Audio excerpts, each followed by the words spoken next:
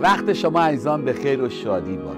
تا گشودی چشم را دیدی تا آن هدیه را. نامه مهر خدا را آن چراغ راه را.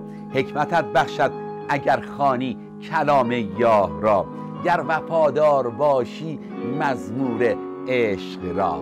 تو شکست خواهی داد ناامیدی و گناه و ترس را. همون گونه که نویسنده کتاب یوشع یک هشت الا نه اعلام می‌کنه این کتاب تورات از دهان تو دور نشود بلکه روز و شب در آن تفکر کن تا بر حسب هر آنچه در آن مکتوب است متوجه شده عمل نمایی زیرا همچنین راه خود را فیروز خواهی ساخت و همچنین کامیاب خواهی شد. آیا تو را امر نکردم؟ پس قوی و دلیر باش مترس و حراسان مباش زیرا در هر جا که بروی یهوه خدا با تو خواهد